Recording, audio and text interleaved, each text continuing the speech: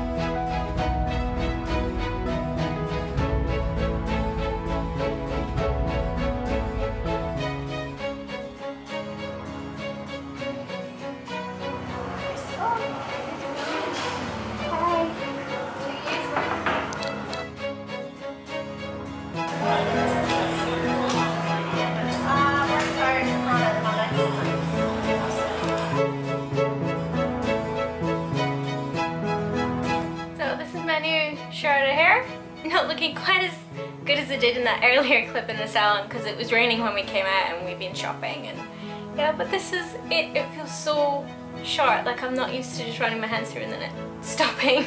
We did actually manage to cut off quite a lot of hair. I ended up getting 38 centimeters tonight which is wonderful um, and as my bestie said, I hope it makes a little girl with cancer very, very happy when it's turned into a wig for her. Um, if you are interested in donating your hair or you want to donate some money to Variety, I put a link in the description box down below. I've also put a link to Steph's hairdressing salon. It's Snippitz at Marsden. They were wonderful.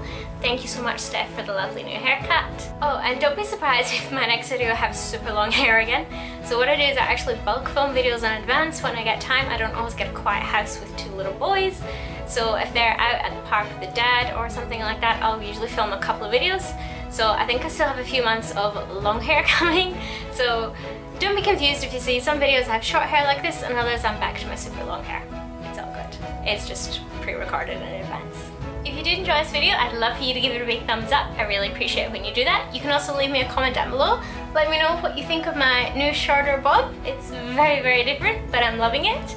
Um, if you haven't subscribed already, you can also hit that red subscribe button and follow along. I upload a new video every week. Thank you very much for watching.